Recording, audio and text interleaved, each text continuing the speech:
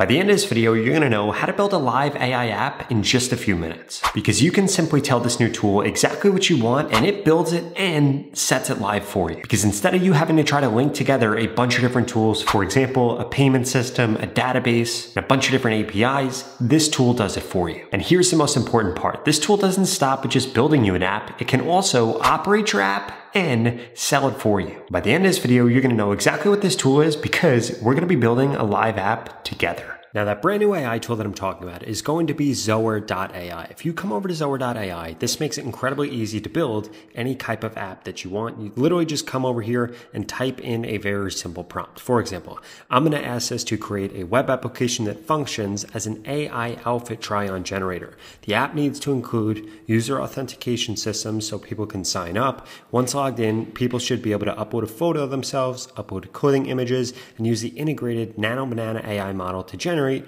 realistic try on images. In addition to that, it needs to make sure that Stripe is implemented here. So this is a pretty complex web application. And here's what we are going to do. You can see right here that you could build this either in public or private if you wanted to. You can also see all these different integrations right here. So I'm going to turn all of them on that I need. In fact, I'm going to need every single one of these. And what this is then going to ask us for are all the different API keys that we need in order to actually set these up. So I went through and actually turned those on. I wasn't going to show you it because I don't want my API keys to be exposed, but you guys get the point here. In addition to that, if you wanted to, you could click on this right here. And if you have any type of design inspiration or you have Figma designs for exactly what you want, you would be able to upload them right here in order to actually build this out. Now, if you don't have a super complex prompt, like what I have here. Let's say that you just had this right here, create a web application that functions as an AI alpha try-on generator. If you wanted to, you could come over here and you could click on enhance prompt, and this will actually create you a way better prompt. In fact, I want to actually show that off for you. So I'm going to copy this again so that we could show this in just a second. But let's say that we just had this here. If we clicked on enhance prompt, here's what it actually does. It goes through and completely rewrites the prompt and makes it way better we could see that this makes it way longer. I mean, honestly, this makes it even longer than the prompt that I actually had here, but this goes through the different pages that need to be created, all the different functionality and all of that. Now, like I said, I already have this prompt built out. So we're going to do this like this. We're going to click on upload right here. And now Zoer is going to go through and this is going to begin to actually build this out in minutes. As we can see immediately, what this first does is says, great, I'm excited to do this. Based on your requirements, I'm designing a system that can do the following. It goes through all of the different core features that this has. It also goes through all the different key design decisions, goes through navigations and permissions, and it asks if it can actually go through and automatically create all these things. And I'm going to suggest that it does that. And we can actually see the plan down here for literally everything. We could see the different aspect ratios that this is going to show. We could see how much this is actually going to cost. We could see a generation history. I mean, this thought through way more things than I put in my initial prompt. In addition to that, it came over here and actually came up with a design style, be it typography, the colors, the layout, even how the interaction is going to work. And then in addition to that, it goes through all the different plugins and integrations that are going to be used in order to build this. I'm going to click on build and now this is going to go off and actually create this. Now as we can see, this is actually going through and this is building all of this out. And the first thing that you're going to notice is that this is actually building out the database right here, which is incredibly important. You see what most apps do, and this is honestly what most vibe coding tools do, is they go through and build out the tool and then they go through and build out the database. And that is what causes a lot of issues in most of the apps that you've probably tried to build before, websites that you've tried to build before. It's kind of like building something and then trying to set up all the plumbing. I mean, think about it. If you were going to go through and you were going to put plumbing below your house, you would do that before you actually built your house, not after you built your house, because then you'd have to go through the floor or reconfigure everything. Creating a website or an app is the same exact thing, which is what makes Zoer so powerful because it actually understands the order in which things should actually be created. In addition to that, you'll see that as this is going through, we have a control center right here where we can come over here, we can name the app, we can give it a description, you could see whether or not it's live, you could see when it was created, the last time it was actually updated, you could come over here and see the app visibility, the price, we could actually have the Zoer badge taken off. This right here, Zoer Copilot, I'm going to show you this in a little bit, but basically this is an AI assistant that simplifies app usage both for us as a creator, so it can operate the app for us, and for users, it can actually tell them like how to actually use the app and stuff like that, which is pretty sick. In addition to that, we could come over here, we could see all the different integrations that are going to be in here. We could see the code at any point if we wanted to. We could see the database in here and all the different things that are going to show up, and we'll be able to go through this once it actually populates. Now, before I show you exactly what this looks like, I wanted to remind you that you could go to the pin comment below and get started today with Zoer AI for free. Because this is the only AI app builder that can take you from idea to monetization without you leaving it. Okay, so as we can see here, this has actually been created now, which is pretty awesome. We could come over here, we could see the database for this and all these different things.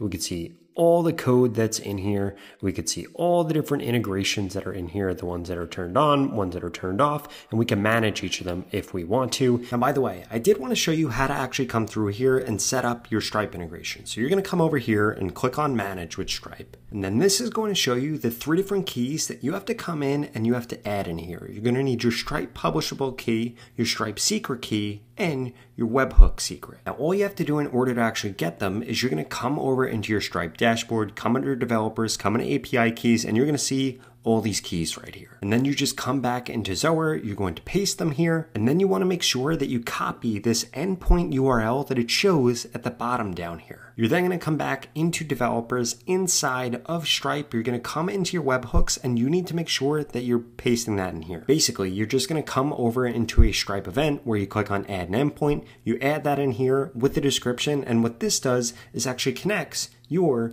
Zoer AI to a direct event on Stripe. Now from there, you're going to want to click into events and then for the sake of this, you could just click on select all events right here at the top left. And then this is what this is actually going to look like when this is set up. And then you'll be able to come over here to signing secret. You're going to want to click on reveal right here. And then this is going to give you that key that you need to come back into Zoer and put it in there. And that is going to be the webhook secret key that you're going to place at the bottom here. By the way, if you get stuck trying to set any of this up, if you click on how to configure here, it actually walks you through this. And then we could come back over to Zoer and we could click on this and we could put in a bunch of test information here. And then you'll be able to see that this payment actually went through successfully. Now from here, we're just gonna come over to preview. I'm gonna open this up in a new window and let's go ahead and actually sign up. Okay, so now that I'm actually logged in, we could see exactly what this looks like and we are going to try this on. So we could see that I have three credits over here. If I wanted to get more credits, I would be able to sign up and I would be able to buy this because we have the Stripe integration. In addition to that, we have my wardrobe, which is going to be blank right now. We also have history that is going to be blank right now. And we have this screen right here that we can go through and we can begin to actually create. Now, before we actually test this, I wanted to show you this right here because this is going to be this co-pilot and this can be used in two ways. So you could use this internally in order to do things like data queries, management, operational tests through natural conversation, or your users can actually use this for things like customer support, asking questions, trying to understand how the app actually works. Okay, now what we're going to do here is we're going to come over here and we are going to upload a photo of a model here, or we could do it of ourselves. I'm going to do it of a model right here, and then we could come over here and we can name this and do all of this, which is pretty cool. And then from here, what we're going to be able to do is we're going to be able to select from clothing here, either from our wardrobe or from a catalog, and we could go through and actually upload this. For example, I'm going to type in Gucci jacket here. We're going to put as outerwear brand is going to be Gucci. I'm going to put brown. I'm going to say this is a Gucci brown jacket that I want to buy.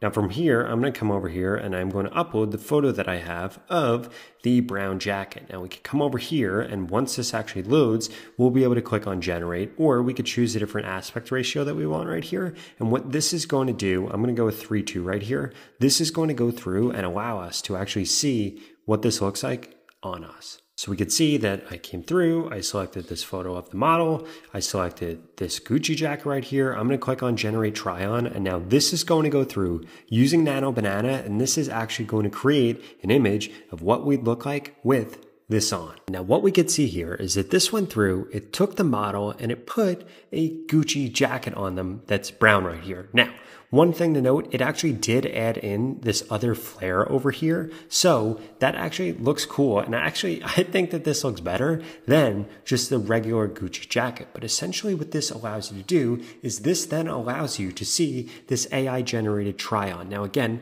I want you to think about how powerful this is. This just created an app with all of these different integrations in here without me having to do anything. I mean, literally look at this. I'll prove this to you over here. If we come over to the left hand side right here, I literally put in one prompt. I have not told this anything else.